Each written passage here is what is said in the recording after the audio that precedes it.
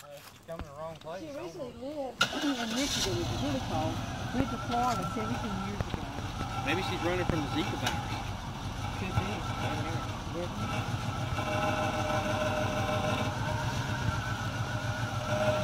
Drive my car yet. It looks like Yeah, just smoke the tire and just go. I'm picking up a lady from church on Sunday.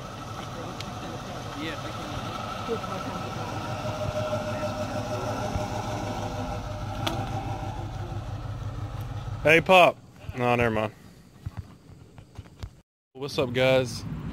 So, uh, I'm on my way to look at a house, and my grandpa told me to take his new car. And because, you know, it's really reliable. The guy took care of it. So, on the way, uh, it starts overheating. You see, it starts shooting out water. I looked in my rear view and seen tire tracks. I could tell it was leaking water. So, my grandma's in the Dollar General. She's going to get a gallon of water. We'll pour it in there.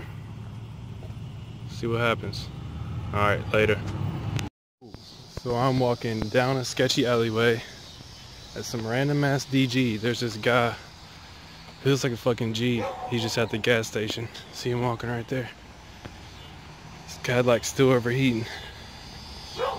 Alright, I'm going back over here. See what he says. Made it back, made it back. About to hit the highway. So the car is still overheating. Me and my grandma stopped at McDonald's. About to live the American dream right now. 10 chicken nuggets, medium Coke, French fries.